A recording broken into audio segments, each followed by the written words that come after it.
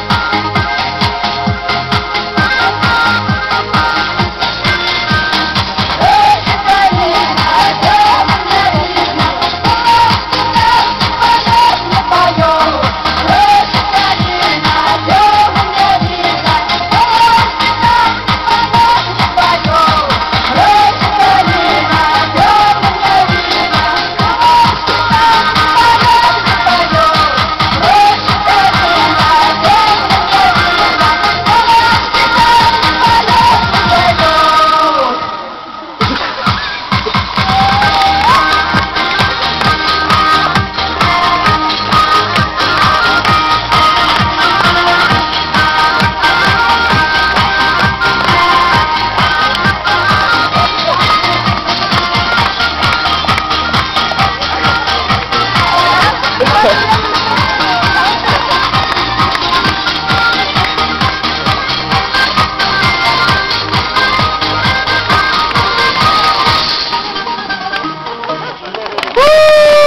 ж, аплодисменты танцевальному коллективу Bill Time.